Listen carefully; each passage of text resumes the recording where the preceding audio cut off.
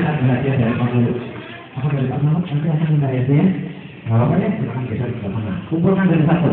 Orang-orang yang berprestasi. Yang kedua, eh, oke saya berita.